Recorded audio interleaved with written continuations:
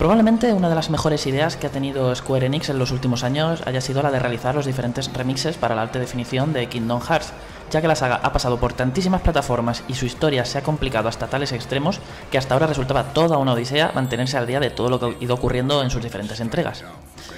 Tras los dos primeros remixes, ahora nos llega Kingdom Hearts HD 2.8 Probablemente el remix menos atractivo y con menos contenido de los tres, aunque igualmente interesante para cualquier fan de la serie por lo bien que lo deja todo preparado para Kingdom Hearts 3, tanto por la remasterización de Dream Drop Distance como por sus otros dos jugosos extras en forma de un nuevo capítulo jugable inédito y una película con la que descubrir más sobre los acontecimientos de Kingdom Hearts Unchained X. Pero vayamos por partes. Como decimos, el plato fuerte de este recopilatorio es Kingdom Hearts Dream Drop Distance HD, una remasterización de este juego original de Nintendo 3DS que vuelve a ofrecernos la misma aventura con sus aciertos y virtudes prácticamente intactos. Esta entrega se sitúa a nivel argumental justo después de los hechos de Kingdom Hearts 2 y tras haberse realizado toda la explicación de lo que ocurrió en Kingdom Hearts Birth by Sleep, con Sora y Riku preparándose para convertirse en auténticos maestros de la llave espada, motivo por el que el mago Jensid les envía a superar un examen especial consistente en despertar a varios mundos dormidos que nos llevará a vivir una aventura en el reino de los sueños. El argumento no avanza demasiado a la trama general de la saga, pero sí que está repleto de detalles interesantes y que conviene saber, ya que lo deja todo muy preparado para la tercera parte de la serie.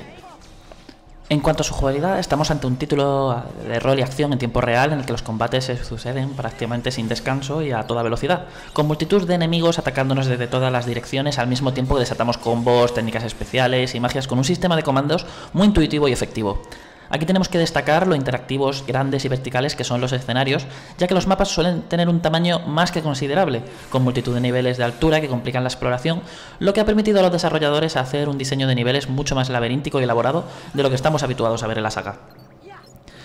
Todo esto también se traduce en una mejora considerable de la movilidad de nuestros personajes, ya que ahora podremos interactuar con multitud de elementos del escenario para deslizarnos a toda velocidad por raíles, impulsarnos, dar saltos gigantescos, etc. Algo que también podremos aprovechar en los combates, lo que propicia una jugabilidad muy fluida, rápida y orgánica. Otro detalle muy peculiar de esta entrega lo tenemos en la presencia de los oníridos, los nuevos enemigos a los que nos tendremos que enfrentar y que podremos reclutarlos para que nos ayuden en combates como nuestros propios aliados, algo que haremos creándolos con unos materiales especiales. Pero lo más importante no es solo que nos ayuden en la batalla, sino que subiéndolos de nivel podremos desbloquear habilidades y comandos para nuestros protagonistas, algo importantísimo para que nuestra progresión sea satisfactoria. El sistema funciona, aunque tenemos que admitir que no es de nuestros favoritos, ya que el diseño de estos seres nos ha parecido especialmente poco inspirado y hubiésemos preferido tener a personajes más sólidos e importantes de la trama luchando a nuestro lado. Otro aspecto que no nos ha terminado de convencer es el sistema de sopor, el cual nos obligará a tener que pasar de la historia de Riku a la de Sora cuando su medidor se vacíe, lo que provoca una incómoda sensación de estar jugando contra el reloj que impide que exploremos y juguemos a nuestro gusto. Del mismo modo, al obligarnos a pasar dos veces seguidas por los mismos mundos, estos acaban alargándose demasiado y llegan incluso a cansar, a pesar de que cada personaje cuenta pues con sus, sus zonas exclusivas y con su propia historia. Centrándonos en las novedades exclusivas de esta remasterización, tenemos que destacar la traducción al castellano que se ha realizado para esta ocasión, siendo esta la primera vez que podremos jugar esta entrega en nuestra lengua. Quitando este detalle, también tenemos que señalar lo muchísimos que nos ha gustado los controles gracias al DualShock 4, siendo ahora un juego mucho más cómodo de jugar, con una cámara más fiable y controlable y con más atajos para realizar fácilmente todo lo que queramos. Visualmente también nos ha sorprendido ya que se ve sorprendentemente bien para tratarse de un juego original de Nintendo 3DS, aunque sus orígenes son más que obvios. Sin duda, la mejora técnica más agradecida de todas es la de haber conseguido que el título se mueva por fin a 60 FPS, algo que le sienta de maravilla a la jugabilidad y que hace que los combates se sientan todavía más frenéticos si cabe. Además de Kingdom Hearts Dream Drop Distance HD, este recopilatorio trae consigo Kingdom Hearts 0.2 Birth by Sleep, un nuevo capítulo inédito hasta el momento de la historia de la saga y que podríamos considerar como una especie de demo de Kingdom Hearts 3. Su argumento sirve de epílogo a la entrega de PSP y nos mostrará cómo fue el viaje de Aqua por el reino de la oscuridad tras quedar atrapada allí, contándonos una interesante historia que lo deja todo perfectamente enlazado con lo que será el principio de la esperada tercera parte. La jugabilidad vuelve a ser la clásica de rol con acción en tiempo real de la saga, por lo que iremos avanzando por unos escenarios más o menos lineales mientras nos enfrentamos a numerosos enemigos. Al igual que en Dream Drop Distance, los escenarios tienen una buena verticalidad, aunque no hay tanta interacción con ellos ni los mapeados son tan grandes.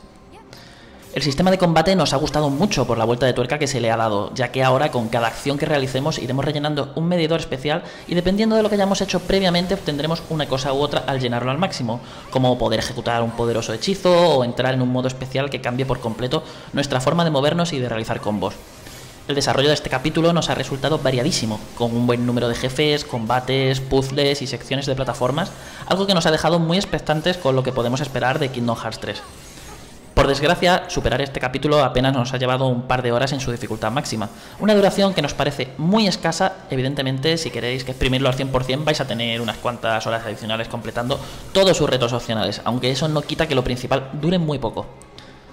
Lo que sí que nos ha encantado es su apartado audiovisual, construido con el Unreal Engine 4, para mostrarnos unos escenarios detalladísimos, una iluminación muy resultona, modelados de personajes sobresalientes y unas animaciones con todo que son todo un gustazo para la vista sin olvidarnos de su espectacular diseño artístico. Lo único malo es que la tasa de imágenes por segundo no es todo lo estable que debería ser. Por su parte, la banda sonora tampoco se queda atrás y hace gala de una serie de temas de grandísima calidad, muy melancólicos y tranquilos para los momentos de exploración y tan movidos y épicos como se podría esperar para los combates. Finalmente, la última novedad de este Kingdom Hearts HD 2.8 la tenemos en la inclusión de la película Kingdom Hearts X Backcover, donde nos contarán una historia que tuvo lugar muchísimo tiempo antes de los sucesos que todos conocemos, presentándonos a los cinco augures, los maestros de la llave espada originales. Los personajes que aquí conoceremos nos han resultado interesantísimos y esta historia expande el universo de la serie de forma considerable, dándonos un buen número de pistas de por dónde van a ir los tiros con Kingdom Hearts 3. Eso sí, os avisamos que el ritmo de la narración es lentísimo y que probablemente os acabéis quedando con más preguntas que respuestas tras su visionado.